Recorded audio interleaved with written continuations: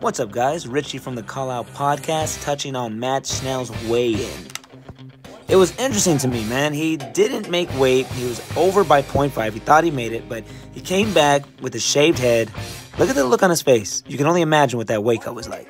But hey, he shaved his head. It worked. 126 pounds, secured the bag, and now he's going to be fighting Matthias Nicolau. Matt Schnell has a record of 16 and 6, and Nicolau has a record of 18 3 1 with a four fight winning streak after losing to Ortiz. Matt Schnell was super scrappy. We can't forget his last fight. He was the big underdog. He was losing the fight. He came back out of nowhere and ended up winning. So I can't wait to see what happens Saturday night against Nicolau. But Matt Schnell's last fight, man, I'll never forget it. Oh, look at him! Look at him! Oh, he came from behind out of nowhere! That's fight of the night right